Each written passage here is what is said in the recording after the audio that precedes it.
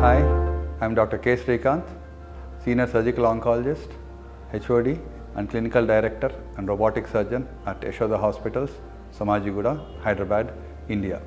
H. pylori, which is called as Helicobacter pylori, it's a small spiral bacterium detected long back, branded as a carcinogenic agent which is responsible for development of stomach cancer, intestinal cancer. So this bacterium is prevalent everywhere and uh, it infects most of the individuals. It gets infected or it gets entry into the body through contaminated food or contaminated water or contaminated saliva or contaminated feces. This bacterium once gets into the intestine, it usually lodges itself in the stomach mucosal folds and it slowly divides, multiplies, stays there and initiates inflammation of the gastric mucosa. Slowly with time it forms an ulcer which is called as a peptic ulcer either it is seen in the stomach or in the duodenum and it gradually leads to a type of condition called as non-atrophic and then atrophic gastritis. This atrophic gastritis is nothing but suppression of the normal gastric or intestinal cells and its production of the mucus.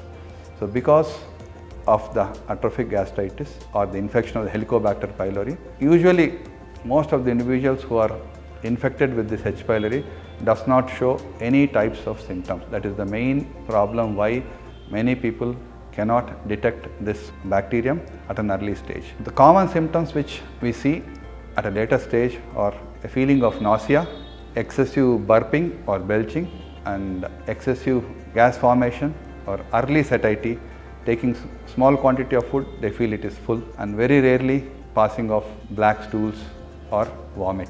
So this happens in later stages. So these are the common symptoms and most of them are ignored because they are normal. When the symptoms persist, I think it's very important to meet a doctor where they do an endoscopy and then take a biopsy and confirm that this bacterium is present in the stomach by rapid urease test or RUT test. Once that bacterium is confirmed, treatment for this is a combination of four medication and antibiotic acid suppressant medication which is standard that has to be used for a fixed number of days, two weeks or sometimes three weeks, with, by which this bacterium can usually be eradicated. Most important is trying to avoid getting that bacterium into our body. Th that is by eating hygienic food, using hygienic water, and then hygienic hand wash before having food, and especially hand wash after passing stool is very important before you know we do anything else. So this bacterium, the most important risk factor for this bacterium when it stays in the stomach for a long time is development of stomach cancer or intestinal cancer. So this bacterium slowly destroys the covering of the stomach mucosa which decreases the production of mucus or acid making the stomach mucosa dry.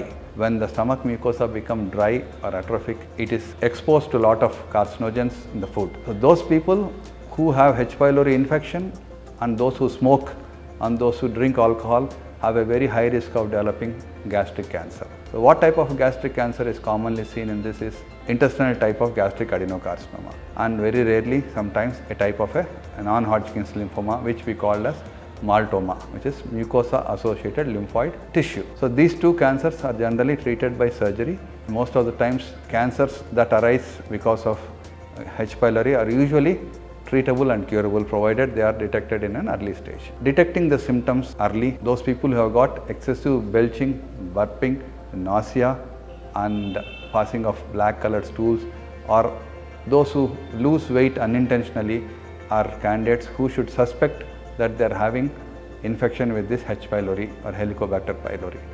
Early treatment, avoidance of smoking, alcohol and uh, detection of this bacterium and treating this bacterium at an early stages, the prescribed medication can prevent or develop, development of gastric cancer. So early detection can prevent development of a gastric cancer in those patients who get infected with Helicobacter pylori. Thank you.